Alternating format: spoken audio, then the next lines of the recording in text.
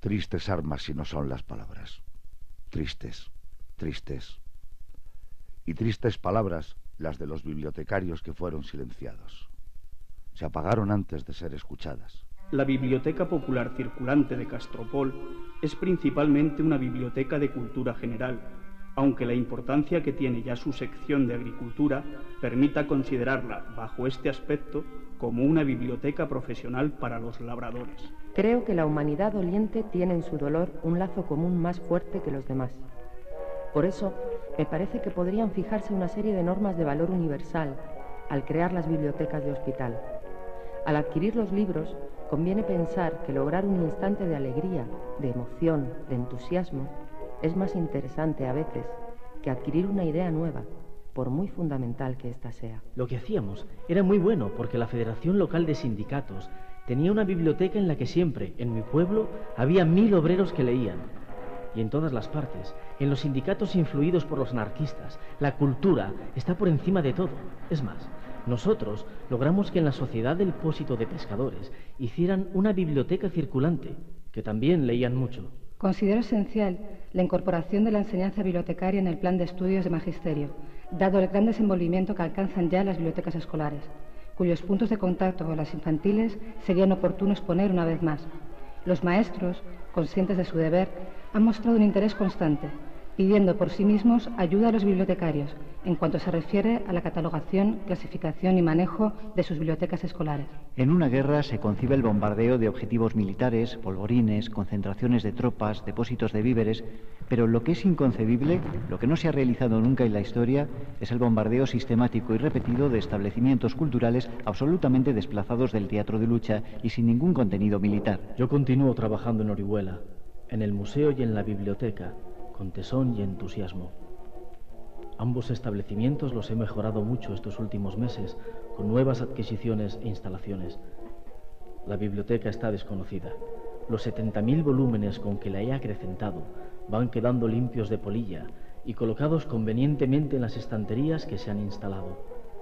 El fichero era un caos que estoy poniendo en orden antes de proseguir la catalogación. Nuestro plan era visitar los pueblos, avisando antes a los alcaldes para facilitar la obra hacer una memoria mensual de los trabajos y recoger las iniciativas de los miembros de la Junta sobre la riqueza artística desperdigada que pudiera existir. Visitamos los pueblos de Alovera, Budia y Muernaldo, y actualmente se encuentra en Pastrana el secretario general. En una de mis conferencias en la Universidad de Princeton, he tratado yo de los trabajos para la conservación del patrimonio cultural y artístico llevados a cabo por el comité nombrado especialmente por el gobierno, y de la labor en bibliotecas y archivos oficiales y particulares.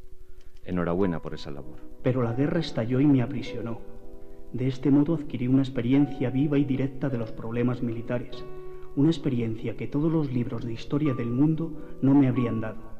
Y esto fue lo que hizo renovar mi concepción total de cierto número de problemas históricos. De las ciudades durante la guerra yo tenía pocas noticias. Juanito Vicens organizó las bibliotecas del soldado me llamó varias veces para que yo interviniera en eso, ya que soy del cuerpo de archiveros y bibliotecarios. Y yo le dije que no, y se quedaron muy escandalizados.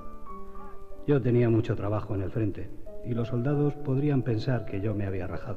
La única propaganda que he realizado ha sido la que imponía mi cargo. Propaganda a favor de la Biblioteca de Córdoba. Y la he llevado a cabo no con predicaciones, sino con hechos, transformándola de incómoda en confortable, de antihigiénica en saludable, de inabordable y osca en abordable y de fácil acceso, de conglomerado informe de libros en ordenación moderna. De esta actuación me van a gloria. He visto pisotear las cosas más sagradas, perseguir el mérito verdadero y entronizar la mediocridad y la ambición. Se dice con frase acertadísima que la ignorancia es la base del poder, y no solo en un lugar, sino en muchos lugares. Tuve yo hace muchos años que salir del mío por no poder sufrir tanta ignominia a la profesión de bibliotecario, que no servía para citar en los grandes discursos, no concedían mucho interés nuestros dirigentes en Moscú, que habían centrado su atención en la universidad y en el Instituto de Ingenieros en Energía, y que citaban con admiración rural. A los que estudiábamos para bibliotecarios nos dejaban en paz. Era como si no existiéramos. Intentaron callarnos. Casi lo consiguen.